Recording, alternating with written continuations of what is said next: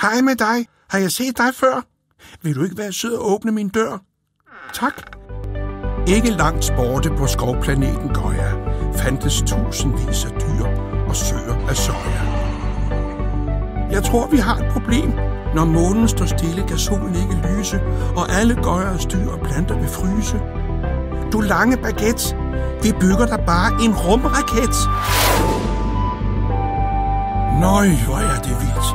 En hel by af måneskrot. Som som, hvad laver vi der her på Rusthavet? Nu bliver månemaskinen aldrig lavet.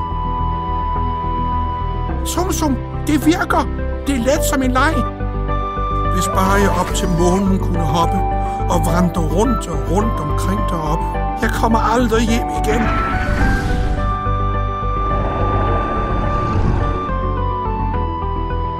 Sofus og månemaskinen. Vil du med din skøre robot? Det bliver hyggeligt.